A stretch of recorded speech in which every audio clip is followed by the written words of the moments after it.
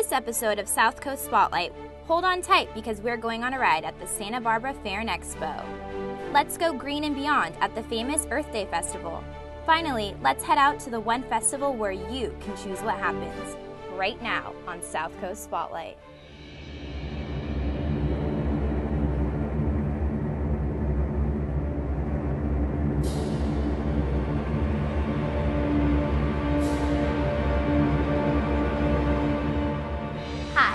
Welcome to South Coast Spotlight. I'm Brianna Mellon, and in this program, we take you to the South Coast and show you what truly matters in your community. If you like preserving our oceans and helping our environment, then you'll love the next festival we take you to.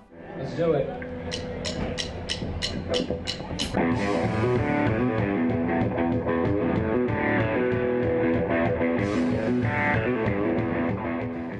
Originating in 1970, the Earth Day Festival features workshops, film screenings, and more with environmental awareness at its center. I'm portraying the medieval and Renaissance green man. And it was a protector of the wildlands, an ancient pagan deity. We're collecting signatures to get an initiative on the ballot in November to ban fracking and other extreme extraction techniques um, that they would use to extract oil in Santa Barbara County. The Earth Day Festival provides a space to educate on important issues. It also allows locals to community build I think it's important because it builds community. It's one of those few opportunities that we have to just come and connect with one another, to um, share information, to celebrate. It's also um, a great place to like break bread and dance with friends and really just kind of build community and connect. Part of that community building includes getting people informed, involved, and help finding the organization that is right for them. We were all surfers and paddleboarders and kayakers, and we heard about this thing called the trash gyre. And we had no idea what it was. And then when we learned about what it was, we were like, how does no one else know what a gyre is? How does no one else know about the single use waste that's in our community, that's right here in our own coastal line? We all can be doing a lot more to help the environment. And when you come to Earth Day, you meet a lot of organizations that need volunteers, that need donors. So it's a good place to find an organization that um, resonates with your values. Culture, if we're not careful, will not reflect our love. Instead, it will reflect some of our bad habits, like wanting more than we need. So, this is a day to really think about needs and wants and to come in alignment.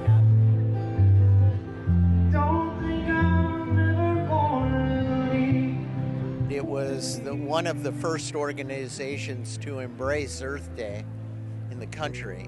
Um, Earth Day was, in fact, a result of the Santa Barbara oil spill. Earth Day now gets 35, 40,000 people. Santa Barbara's Earth Day is one of the largest in the country. And I think it speaks to the level of interest in this community about preserving and protecting the environment. It's my pleasure this year to, to uh, uh, give the 2014 CEC Environmental Hero Award. Ladies and gentlemen, give it up for Salud Carbajal. You know what they say, if the people lead, your elected officials will follow. So I wish I could take more credit for the work I'm doing, but it's basically our work. On behalf of all of you, everybody who does a little something or a big something to create a more resilient and sustainable world for our future generations, I accept this award on your behalf. The Community Environmental Council has five initiatives, and so you'll find all of those themes within the festival, whether it's the Green Car Show, whether it's our partnership with the Bicycle Coalition to bring in bike valet, whether it's offering healthy, organic, local food. All of those initiatives are really kind of baked into the festival. The 2014 Santa Barbara Earth Day Festival, a perfect way to go green in your community. Hi, I'm Bree at the Santa Barbara Fair and Expo, celebrating a quarter century of family fun with food, farm animals, games, and rides. Let's take a look inside and see what all the excitement's about.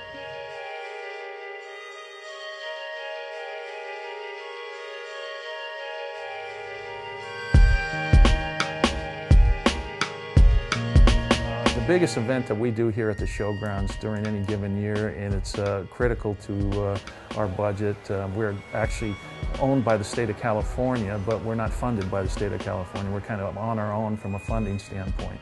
And so it's a very important event for us to help uh, meet our budgetary goals. Santa Barbara Fair and Expo is in its 25th year. So this is our, our silver anniversary. And our theme for this year's fair is 25 years of fair magic.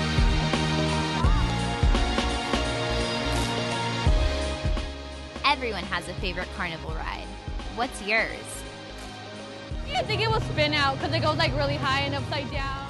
And for those thrill seekers out there, don't worry. Butler Contracting keeps you safe on those crazy rides. Our contract with them had outstanding safety record. They were known for having the, the clean, one of the cleanest carnivals in the business. We just moved here just a matter of a few weeks ago from outside of Lompoc to Goleta area, and so we get to compare this to the Flower Festival that we've been for 20 some years.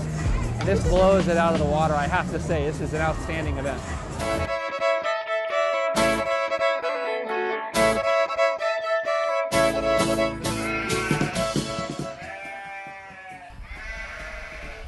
Have an experience unlike any other while you meet the friendly farm animals at the fair and even witness some stiff competition. Good afternoon, ladies and gentlemen, and welcome to the big races!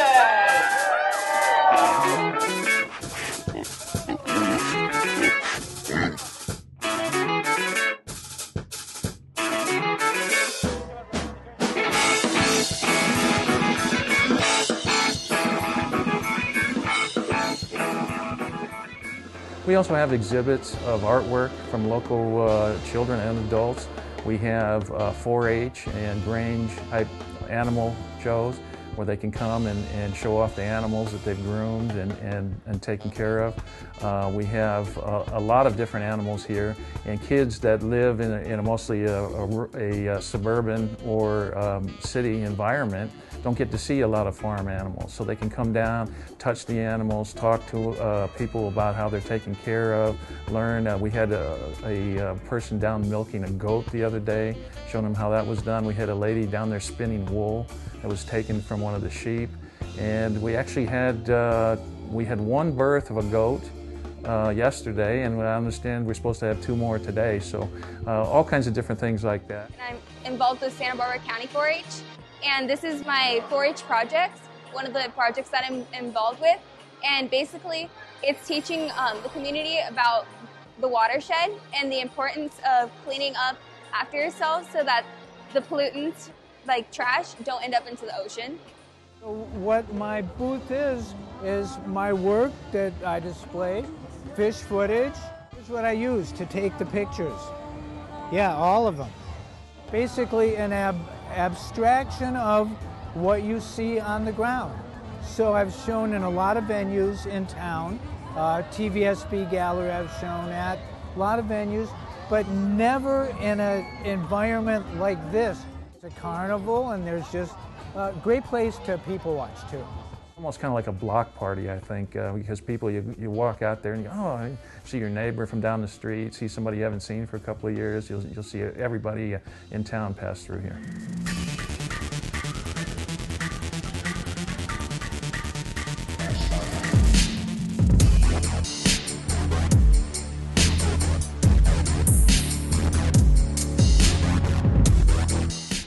Look at him go, guys. Look at him flow. They're heading straight towards the top now, non-stop.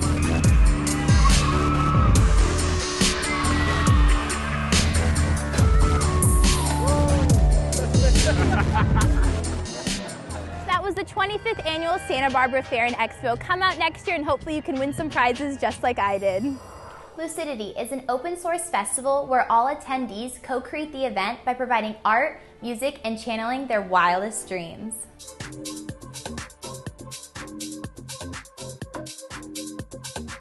Once a year at the Live Oaks Campground, Santa Barbara hosts the Lucidity Festival. The Lucidity Festival brings together musical talent, workshops, and fine art, enriching the festival as a visual voyage. They encourage people to get involved by bringing art, participating in workshops, and portraying a character from their dreams to be silly, wild, and free. It was actually a community co-inspired co-creation. Uh, a number of us from the Santa Barbara arts and consciousness communities came together, and we had a collective brainstorming session. We knew we wanted to create events together, but we didn't know what they were going to look like, and we didn't know what the values at the core of those events were going to be. So we we brainstormed and uh, and we came up with seven core values that continue to be the core values uh, around which everything sort of uh, revolves.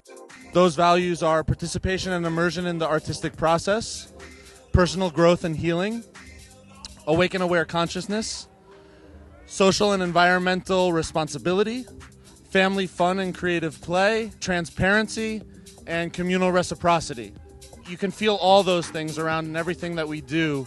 Um, those core values are really the inspiration behind lucidity.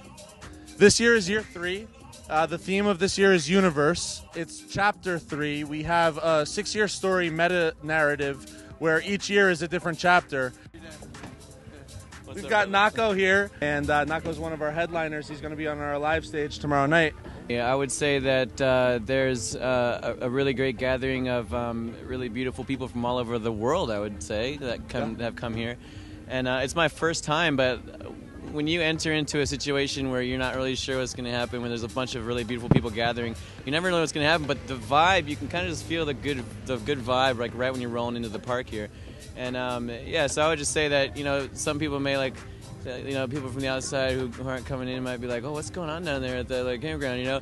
But uh, just so you know, there's just a lot of really uh, beautiful and intentional people here that are um, storytellers and poets and artisans and um, and, uh, and and citizens of the of the earth that have come to sort of um, share uh, share stories and, and, and, and share prayers so that we can leave this place and take uh, take what we've learned here and, um, and and give it back to the communities that we've come from. We knew that people attending this event are aware and open minded enough to either learn about environmental issues or help us perpetuate uh, a change in, in, a, in a positive manner. If you want to get involved, all you have to do is look up Lucidity Festival or environmental awareness, advocacy, any of the schools, UCSB, Antioch University, Santa Barbara City College. Someone will be able to direct you to a good resource in how to get involved and be part of our community. We're growing every year and, and we need more people who care about what we're here for, which is each other. I've come here ever since the beginning of the Lucidity Festivals. My sister brought me to my first music festival. It was an extremely life changing experience for a lot of reasons. Um, the first and foremost, it affected my conscious, my subconscious. I dream about lucidity all the time. The second year I came here, I found a location that I had been dreaming about. So it's just a magical territory. I came here this year to not only receive from the festival, but to give. I'm a hairstylist full time, and I want to give as much as I can. I love my craft and I want to share it with everybody. So tomorrow I'm doing haircuts and braids and scalp massages and just kind of spreading the love and the joy that I have been receiving the past three years that I've been coming here. It's definitely gotten a lot bigger this year. I saw that the tickets sold out, so that's awesome. I've heard that they have a lot of the backing that Burning Man has, that support, so that is extremely awesome. A lot of the stages are a lot bigger, more elaborate. Lucidity has a lot of workshops and a lot of things that you could take away from it, not only just going and raging at the stage. As the Lucidity Festival continues to grow, they look forward to sharing next year's journey with you. Well, that does it for today's episode of South Coast Spotlight. Tune in next time as we continue to cover the local events in your community. If you have ideas for future segments, email us at info at tvsb.tv. Thanks for watching, and we'll see you again next time.